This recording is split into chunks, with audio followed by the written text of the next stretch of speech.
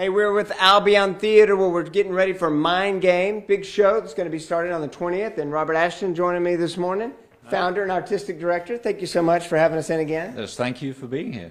Well, you know, I'm kind of like a, a, a serial uh, actor in the sense that I, I keep coming and trying out for these shows and I keep getting rejected. Well, I don't take it as rejection, you know, or rather, if you want to be an actor, you have to live with rejection. Right, exactly. All right, so this show, Mindgame, uh, which uh, it sounds like I'm perfect for. Uh, give me a little brief description of this show. Okay, well, the show is set in a place called Fairfields, which is an experimental hospital uh, in, in the countryside in England for the criminally insane, where serial killers primarily are, are, are housed. Um, and the, the person that runs the establishment uh, is very interested in, in doing a thing called psychodrama, which is uh, where you engage uh, the, well, often not the criminally insane, but the, the people who have mental health problems um, with play, role playing to try and help, help them out of things.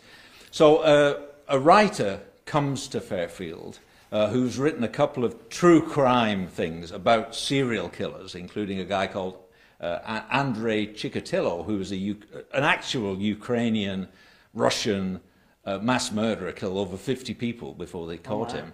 So, so I'm playing the role of the writer. You're playing the role of the writer, and you've come to interview a serial killer who is there, a famous serial killer who is in this institution.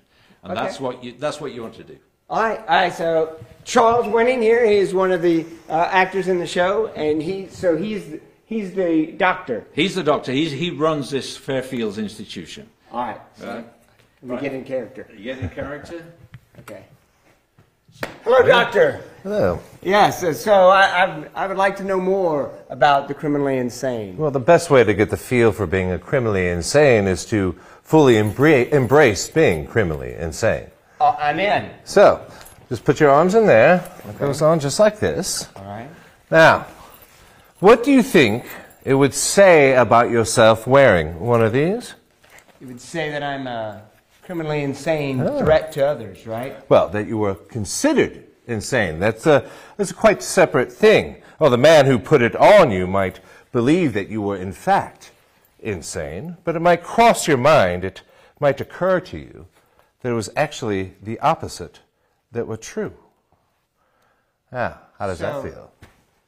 I may not be the one that's insane at all. This is true. This is very true. Hmm. I'm, I'm getting, everything's not what it appears, is what I'm assuming here. This is exactly what the show is about. Everything is, is not what it appears. Um, and, you know, we, because it's a surprise ending, we don't want to give the ending away as to what happens in here. But it, it is about that. It explores the mind of serial killers and, and uh, psychiatric treatments. Um, but it is, it is quite a thriller and a shocker. There are some very shocking things happen during the show. All right, you got to come check it out. It is Mindgame right here in the Black Box Theater. Great place to see a show.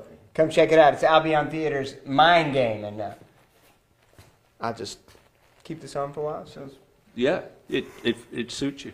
it absolutely suits me.